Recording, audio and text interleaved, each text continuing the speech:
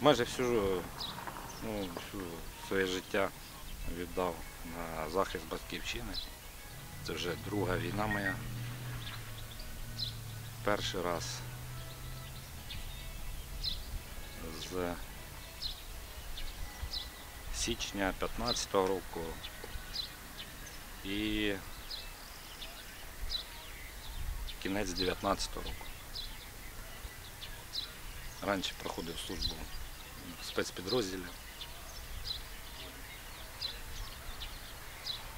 Так, так вийшло, що треба було знову стати на захист батьківщини. Дружина військова, я військовий. Тобто це як життя.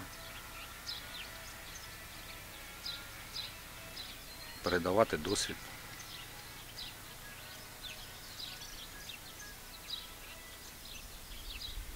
Майже те, що робив все життя, то і буду продовжувати робити. Майже все життя своє я провів на службі.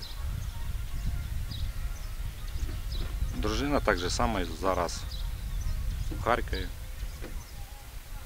Теж захищає. Так, так, так, так, так. Что произошло? Но ребята отработали цели. И видно, удачно отработали. Ну, ответка не заставила себя долго ждать. Слава Богу, все живы, здоровы, вернулись.